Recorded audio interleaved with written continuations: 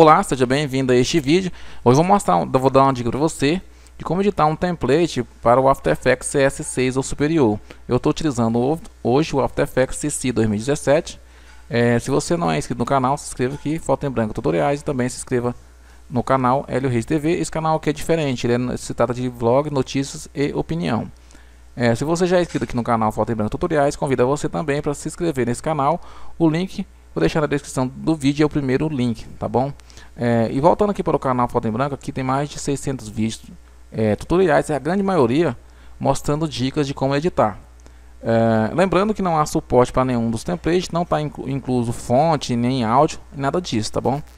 É, também vou deixar um link na descrição, caso você trabalhe com edição de vídeo ou de foto, temos bastante motion título. É, slideshow, tema infantil, romântico, temos introdução de futebol, jornalismo, é, shapes e várias outras anima animação roda aqui embaixo aqui, você perceber, pode ver que tem 10, uh, 10 abas, tá bom? E para finalizar, gostaria de chamar a atenção para você desse microfone aqui, direcional, para câmera de DSLR. É muito boa essa câmera aqui, é a mesma câmera, ou desculpe, câmera não, é microfone, para câmera DSLR. Esse microfone aqui é muito bom, eu estou utilizando aqui nos meus vídeos no canal, nesse novo canal. Não é um áudio profissional, porém ele é um ótimo custo-benefício. Bora lá, chega de enrolação. O, o template de hoje é um pouco voltado para o ramo imobiliário, apresentação. Mas como eu sempre digo, é sempre uma sugestão, já que você colocasse aqui crianças aqui se tornaria, se tornaria um template infantil. Como está exposto imagens e fotos de apartamentos decorados e remete à propaganda divulgação de apartamentos. Então bora lá para a dica. E outra coisa antes de começar também, é, muitas pessoas têm dúvida a respeito de como importar um template para o After Effects ou como importar um template para o Sony Vegas. Volto a falar que eu já disse outras vezes. Quando se trata de template, você não faz importação de template para dentro do, do After Effects. Por exemplo, você procura essa logo aqui, esse ícone do After Effects, clica duas vezes. Se o template for para o Sony Vegas, você vai, vai ter um, um ícone aqui, claro, do Sony Vegas, tá certo? Clica duas vezes, abriu aqui, não alterei nada, tá bom? Nada, nada. A única coisa que eu fiz aqui foi trazer uma pasta com algumas fotos aqui. E como eu disse no início, aqui é somente uma dica. Não tem como mostrar o passo a passo aqui não, tá bom? Precisa você é, explorar para você compreender um pouco, certo? É, então, abriu dessa forma aqui. Eu vou até fechar aqui um pouco para não fazer bagunça. E como eu disse no início, você precisa explorar o seu template, tá bom? Eu vou fechar uns aqui, vou deixar somente isso daqui, ó. Aqui é o controle de cor, claro, o próprio, nome está dizendo, você seleciona aqui, aqui ó, ao lado tem os controles de cor, onde você alterar as cores de, de acordo com a marca ou com o projeto que você vai estar executando, tá vendo? Olha só, tá mudando aqui, tá vendo? Então, esse controle aqui corresponde a cada item, certo? Eu vou fechar aqui porque não se faz necessário. Uh, vou dar uma dica aqui muito simples. Eu sempre digo, você tem duas opções. Ou você edita pela timeline, ou você edita pela área de projeto.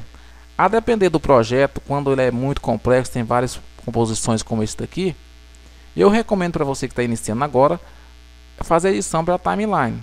Por exemplo, vou mostrar para você. Ó. Essa, tem várias opções, mas eu vou eh, focar somente nessa, nessa aqui, ó, tá no magazine. 1 minuto e 15 tal. Uh, então você pode estar aqui embaixo você veja que está áudio então se você tiver o áudio você pode adicionar aqui dentro. Eu recomendo você fazer essa edição dentro do Adobe Premiere ou o Sony Vegas. Uh, deixa eu ver aqui mais aqui.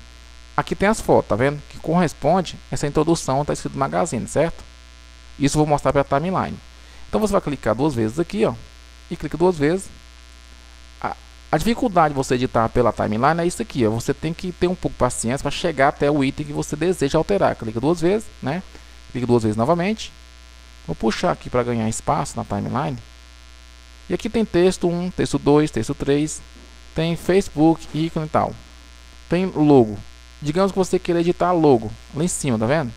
Você vai clicar duas vezes, clicar duas vezes, clicar duas vezes. Então, quando você vai editar pela timeline, tem essa desvantagem de você ficar indo, cavando até no final. Chegou aqui na logo, tem sua logo, Você vai clicar com o botão direito sobre ela e vem aqui revelar o Lay Source in Project, no caso em inglês. Clica nele, vai levar você até a imagem original. Na imagem original, você vai clicar com o botão direito novamente, vai clicar em é, Replace Footage e File, ou Ctrl mais a letra, o atalho H. É, eu vou, vou procurar a minha logo, tá bom? Essa logo aqui, vou clicar em importar. Somente isso aqui, ó. Se eu fechar e voltar aqui, ó, uh, fechar novamente, tá vendo ali? Quer ver? Vai atualizar, ó. É isso aí, ó. Tá vendo?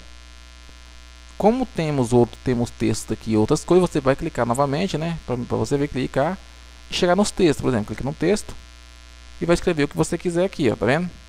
Texto. Opa, desculpa. Texto. Vai fechar. No texto 2, o mesmo esquema, adicionar e tal. Vai no texto 3 e escreve o que você quiser, certo? Aí temos logos aqui, rede social e tal, é o mesmo esquema. Você escreve alguma coisa se for necessário, tá vendo aí? Você coloca o seu nome aqui, por conta de marcado, bom. Não vou entrar muito em detalhe para não ficar muito grande o vídeo, certo? Ah, aqui temos então mais aqui, deixa eu dar uma olhada aqui. Deixa eu ver o que temos mais. Deixa eu dar uma olhadinha aqui no certo. Vamos procurar então a imagem que compõe o fundo, que seria a imagem aqui de intro, tá vendo? Imagem intro. Veja que você, se você tiver dificuldade, assim, eu recomendo você seguir esse passo, mas você também pode ir utilizar o projeto aqui, a área de projeto. Digamos que você fez esse mesmo caminho que eu estou fazendo. Você veja tem composição média 1 até o 7. Clique duas vezes. O mesmo esquema. Ou você pode vir aqui e pegar a sua imagem e arrastar até aqui, ó, sobre e soltar, Ctrl Alt mais F para manter a proporção, certo? Vai dar a mesma. Ou então você faz o mesmo processo que eu fiz agora. Botão direito, você vai clicar revirar o Lay Source in Project e vai até aqui, botão direito novamente e vai clicar Replace File e vai buscar o seu projeto. Bom, no meu caso as imagens estão tá aqui em apartamento, eu importei, né? Então pode fazer desse jeito aqui, ó. Certo? Pode fazer aqui. Ctrl Alt mais F. Bom, pode achar complicado a princípio. Aí você fazer isso com todos aqui, bom? Se você está chegando para a edição no After Effects agora, pode achar um pouco complicado. De certa forma é. Depois que você começa a se familiarizar, fica bem mais fácil. Beleza? Então você substitua todas as fotos que você já achar necessário. Tá vendo ali, ó? Olha só. Já aparecendo a, imagem lá, ó. Aí tem, tem vários textos, várias coisas. A intenção desse vídeo não é mostrar o passo a passo, mesmo porque não dá para mostrar isso aqui, certo? E tem outras coisas que vou botar lá, você pode explorar, ó. Então, editamos aqui, né? Temos, como eu disse, tem foto 1 ao 7, eu não coloquei, né? Posso fechar e pode explorar outras coisas aqui, ó. Tem um website, você coloca o seu website, uh, adicionar alguma informação adicional, né? Uh, outra imagem aqui, você vai procurar, deixa eu ver aqui, ah, não é mesmo, tá certo, é o mesmo. Coloca de 1 a 7. Então, enfim, você vai explorando aqui o que tiver de ser explorado, tá bom? Vai passo a passo e vai salvar o seu projeto, file, salve as, procura um novo local para salvar um novo projeto. Salvou. Aí você vai continuar explorando, vai explorando toda aqui, ver se tem alguma coisa aqui que possa alterar aqui. Procura se tem algo, algo aqui, website. Título, tá vendo aí? Vou clicar duas vezes, ver o título aqui, ó. Por exemplo, colocar ah, é, Hélio Reis. Hélio Reis e colocar aqui embaixo, por exemplo, foto em branco. Uh, volto a dizer que aqui não, não, não dá para mim mostrar passo a passo.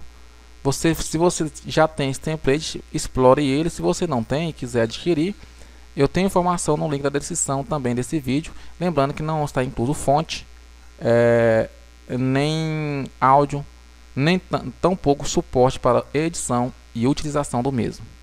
E aqui, ó, para finalizar, não ficar tão longo, é, você tem algumas opções aqui. Como eu disse, você precisa explorar para você ver a quantidade de coisas que está incluso aqui é, dentro desse, desse pacote, tá bom?